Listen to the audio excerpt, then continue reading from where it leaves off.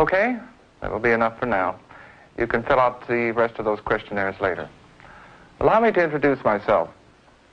I'm Dr. Gregor Zilstein of the Medical School's Departments of Neurology and Psychiatry.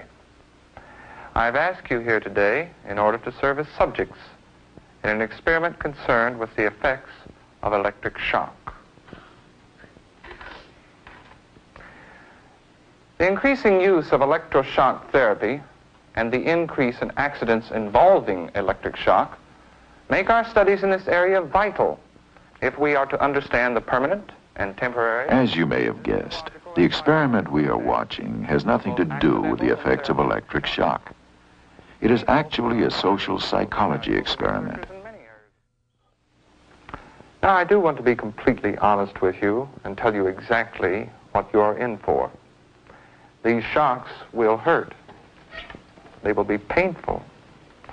As you can guess, in research of this sort, if we are to learn anything that will be of help to humanity, it is necessary that our shocks be intense. And what we will do is put an electrode on your hand, hook you into an apparatus such as this, give you a series of electric shocks, and take various measures such as pulse rate, blood pressure, and so on. Again, I do want to be honest with you that these shocks will be quite painful, but of course, they will do no permanent damage. Now, I assure you. The other experimental group was exposed to the low fear condition.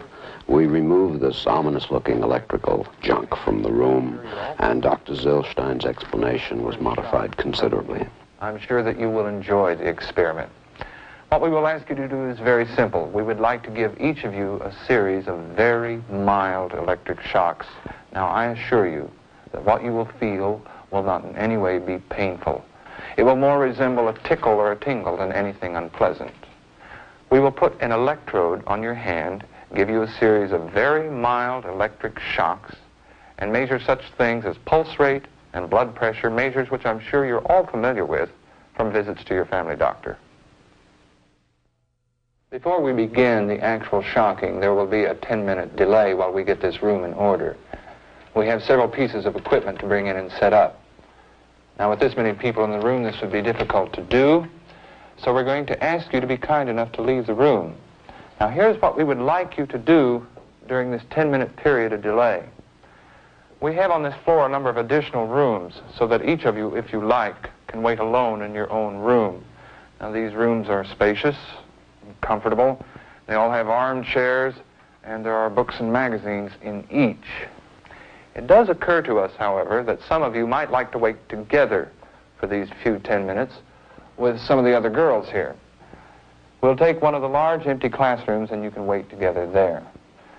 Whatever you decide, just let us know by filling out the appropriate sections in these questionnaires. The experimenter then passed out two brief questionnaires. These were designed to measure not only the subject's preference for waiting alone or together, but the intensity of that preference.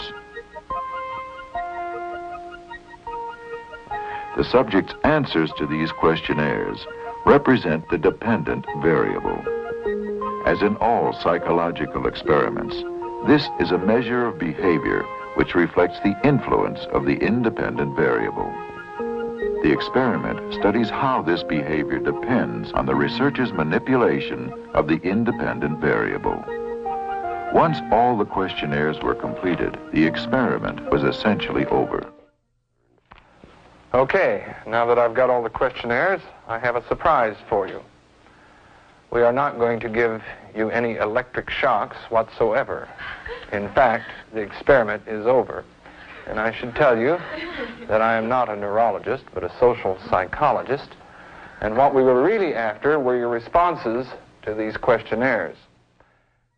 This experiment was designed by Dr. Stanley Schachter, currently visiting professor at University College London. Its real purpose is to measure the relationship between a person's degree of fear or anxiety and that person's need to affiliate or be with other people. In a very real sense, the entire enterprise of social psychology rests on the fact that people like to be together. They affiliate. From studying case histories of people who'd been in total isolation for long periods of time, such as religious hermits or prisoners in solitary confinement, we knew that total isolation was a debilitating experience. It seemed to produce states of great anxiety and fear. And we made what I think was a plausible guess. We assumed that if isolation breeds anxiety and fear, it's conceivable then that the state of anxiety or fear would lead people to want to affiliate. So the hypothesis which led to the experiment was one of the conditions under which people will want to be together is when they are fearful or when they're anxious. Though you could try to test such a hypothesis in real life, it would be extraordinarily difficult to do so. Real life is simply too complex. There are too many variables operating. And the only way to obtain conclusive results, then, is to first isolate the variables you think are important, in this case, fear and affiliation. Second, manipulate these variables under controlled conditions. And finally, accurately measure the effects of your manipulations. In review, Schachter's experimental design is elegantly simple. There are two groups of subjects. One group exposed to a high fear condition, the other group exposed to a low fear condition. These two conditions make up the independent variable. The assignment of subjects to these conditions is random.